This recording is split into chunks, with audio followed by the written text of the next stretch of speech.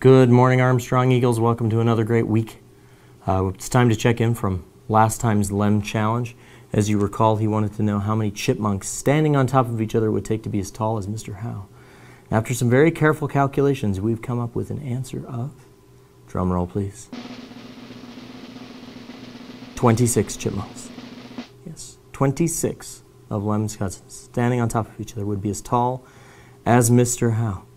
Thank you to all of you who submitted responses, except, of course, all of you who submitted responses that included a decimal or a fraction. You should all be ashamed of yourselves, cutting chipmunks into smaller pieces. What a horrible thing to do. Round up to the nearest chipmunk. uh, let's go to the Lemcam and see what he's got for us this week. Oh,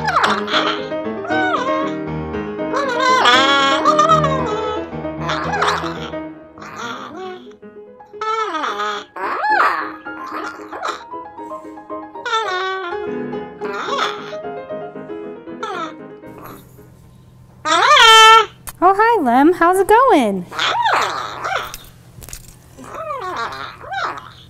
I haven't seen you in a while. How's it going?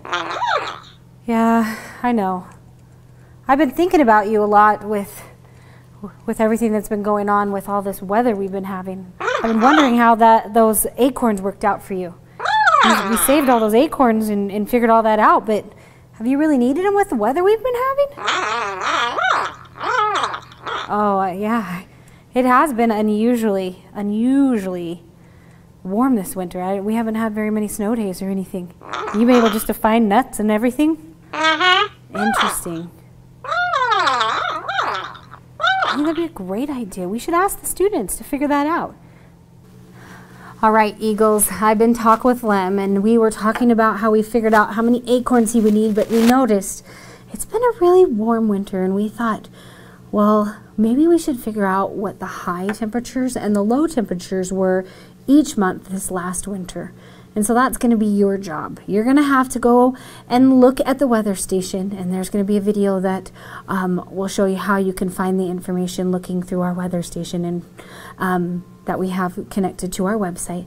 And you're going to have to look at December, January, and February and figure out what the lowest temperature was and the highest temperature was each of those months. And you'll go in and you'll turn that into that um, the same form online that you normally do, and we'll look at that information. And some of you will be earning buttons if you get those right answers and do that research. All right, Armstrong Eagles, when you want to find that information for Lem to figure out what the high temperature and the low temperature was for December, January, and February, you're going to go to the Neil Armstrong um, website. And then on the right, you're going to click this link where it's going to tell us about the weather station. Then when it pulls up, you'll see this is a live cam of what's going on right now. Oh, look at that airplane flying through the sky. That's interesting. And then you're going to go down and click right below it at the weather station data. When it pulls up the weather station data, you're going to go to the left-hand side and go down to the two-week summary. Now you have to look in two-week chunks, so you're going to have to go back and change this a few times. We're observing what the temperature was. That's what we're still going to continue to observe for the past 14 days. And then you're going to have to go back and change this information. So this is for the 12th of March. Well, I'm going to go all the way back and start in December 1st. So I'm going to say the 12th of December. But remember, December 2014. And then it will pull up that information for you. And you'll be able to look at the temperatures that were recorded during that two-week period. Then you're going to have to go back and change that to a new date. And I'll change that to the 24th.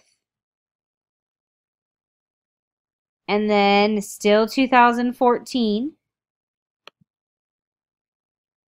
and you'll be able to look at that information um, for temperature over that 14 day time period.